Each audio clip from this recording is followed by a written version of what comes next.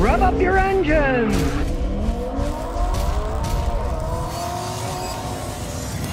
Today I'm going to show you how to avoid expensive repairs and mistakes with some very simple advice that people don't know about. Now I've seen so many mechanical screw ups over the last 55 years of working on cars. Make your head spin. But these are some really big ones that you can easily avoid with just a little knowledge. Now all cars these days are really complex, they're all computer run. So they have what's called an OBD2 plug, which stands for onboard diagnostics. It's used to plug a diagnostic computer into the car. Here's the OBD port here. And it's really simple.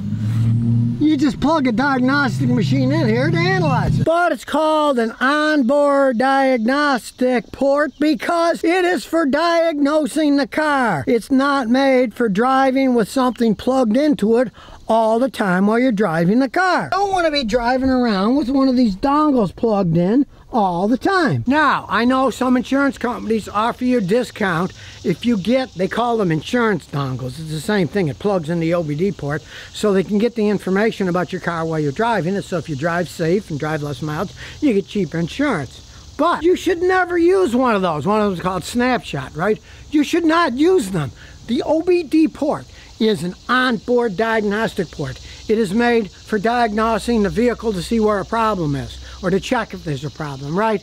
Now, years ago, BMW even had a setup that when you plugged in, well, when I plugged in my fancy one, it would say on the monitor, warning, cars in self-diagnostic mode do not drive car. They were even warning you not to drive the car with one of those things plugged in. I've had customers drive with those. They had problems with the car. Nobody could figure out what was wrong with the car. And here's why they couldn't figure it out. To analyze what's wrong with the car, we mechanics plug a scan tool into the OBD port. So, if you already have a dongle plugged in here, we have to unplug the dongle, get our scan tool, and then plug the scan tool in. We can diagnose the problems of the car. Sounds simple, right? But Let's say the dongle you had in was an insurance dongle or one that supposedly gives you better gas mileage. There's a lot of crap out there, right? We had to unplug that device to plug ours in because there's only one OBD port, right? I've seen so many people bring me a car and say we took it to the dealer and they couldn't find out what was wrong. Well, the dealer didn't do it right because once they unplug that device, it's no longer interfering with the vehicle and if it's causing the problem,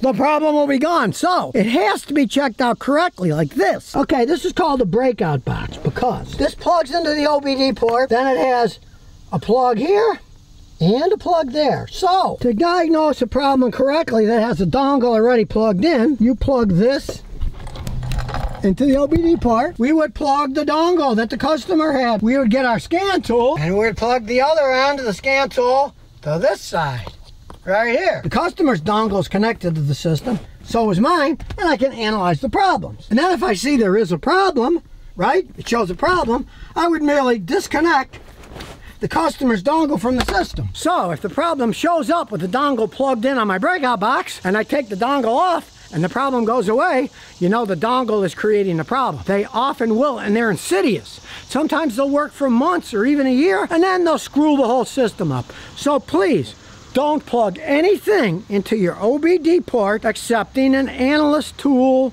when you are scanning the computer to try to find out what the problem is. Do not drive around with something plugged into it. I know it's handy, but you can destroy your car using such a thing. Don't do it. Don't ever drive with one of those dongles. Your insurance company advises it. I'd say get another insurance company. They don't know what they're talking about. I have seen them ruin people's cars, and then the customer had no recourse. One customer did it. He contacted the insurance company. They said, ah, there's no way our machine could have done that. You can't say that. If you have an electric machine and you're plugging it into the computer, computer system. All kinds of problems can arise. Most of this crap is made in China. If the dongle isn't made right, if the software is wrong, and even if going to use one of these cheap dongles made in China just to analyze the problem, my advice is don't. Don't grab one of these $19 ones. It can destroy your car. Believe me, I've seen it destroy people's cars. I've seen people plug them in.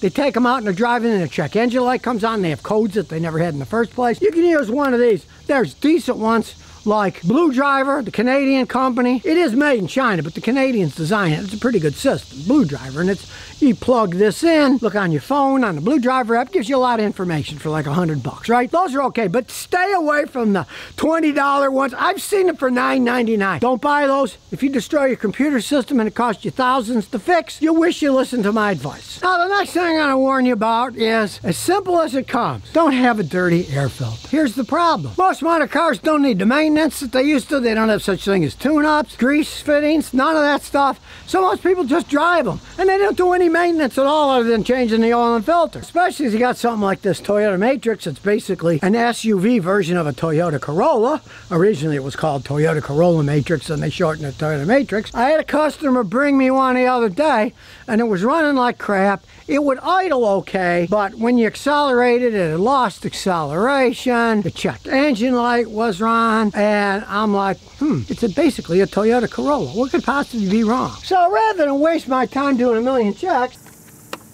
I just popped out the air filter. And here's what it looked like. I doubt if it had ever been changed. Now you can tell this one's horrible because it's all black and dark full of dirt, but the best way to check it is to put it up to the sun. There's the sun. And look, it's black. You can't even see the sun through it, right? I mean, it's totally black. For every gallon of gasoline you burn, one gallon, you use 1,471 cubic feet of air. That's a lot of air, right? If your air filter's clogged up, you can't suck the air in. It will not run right. Now, modern cars are computerized, so they keep trying to compensate. So for a while, even as it's getting bad as this, the car still runs. But eventually, in his case, the check engine light runs in it runs like crap and you'll fail an emissions test. So the simplest thing on earth, check your air filter every once in a while. It's easy to do. You can buy it yourself and do it, and it'll save you a lot of hassles in the long run. Now, the next thing I'm going to talk about, no, it's not motorcycles or dogs. It is tires. Now realize you're driving down the road on your tires. You actually ride it on air and rubber. Now you look at these, you think, oh look, they got tread on them, they're good tires. But no, these are extremely unsafe motorcycle tires. Because they're the original tires on his motorcycle and they're 12 years old. Yeah, they still have lots of tread, but as they age, the tires get too hard. When they get too hard, they don't grip. You want a relatively soft tire on a car and especially on a motorcycle if you're going to do any kind of serious driving. And when you look closely, you see all the inside, there's cracks everywhere. It looks good from far away, but it's old. Now, I'll put these Italian Pirelli tires on. See, the inside's all clean, they're not cracked. These are nice racing tires. And I was totally shocked at how much better the motorcycle rode with that. Motorcycles, you got two wheels. You get a problem with either one of them, it's kaput. You don't want to get a flat tire. You don't want it to slide. You want to have nice gripping tires. You don't ever want to drive a motorcycle with really old tires. They'll skid, they might blow out, and it's all over when you lose one of two tires when you only have two on the whole thing. Imagine if you had two blowouts at once in a car, and even then it wouldn't be as bad as one blowout in a motorcycle. A few times I bought something that's Italian. These are Pirelli, these are very good tires, but even then, they weren't made in Italy, they're in Brazil and they do a pretty good job. I mean, let's face it, this is a Triumph motorcycle, right? It's supposed to be English. This baby was made in Thailand. They actually do a much better job building these things in Thailand than they ever did in England. The factory in England burnt down. Mm, who knows what's behind that? But they rebuilt it in Thailand. They sent like, I don't know, 12 British guys, engineers and stuff. But now they build these in Thailand. They are much better than anything the British built. It doesn't leak oil. It starts with the push of the button every time. It has Keihin Japanese fuel injection system. it's hilarious because it says Triumph Great Britain. Hey, this thing was made in Thailand. Check it out. Japanese spark plug wires NGK. And just to prove a point, okay, this thing's been sitting for months when I was in Rhode Island. Turn the key. The fuel pump's priming. Push the button. A bike made in Great Britain wouldn't work that way.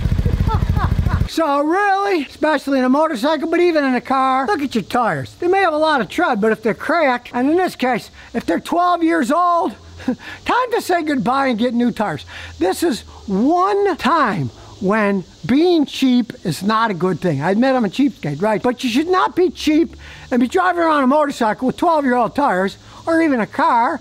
You could get in a wreck In the rain, you might slide, they won't work as well. Realize as time goes on, they make better rain tires. So the tires today work better than the rain tires of years ago. So you're going to be safer with the new designs anyway. There you have it. Three very simple things. It's going to save you a fortune and possible future repairs. It's going to save you a lot of money in gas. If your air filter's clogged up and you might fail the emissions test, you might go to a dishonest mechanic, unlike me. I would say, hey, all you need was an air filter. They're going to say, oh, well, we spent four hours working on a car. You owe us $900. All they did was change the air filter, and of course, it may save your life if you drive it on old, cracked out tires and are too cheap to buy new ones. Hey, I'm a cheapskate too, yes, but there's sometimes when you're better spending a little money having quality tires so you're not putting anyone's life at risk. Because let's face it, most of us want to live free. We don't want to die. So if you never want to miss another one of my new car repair videos, remember to ring that bell.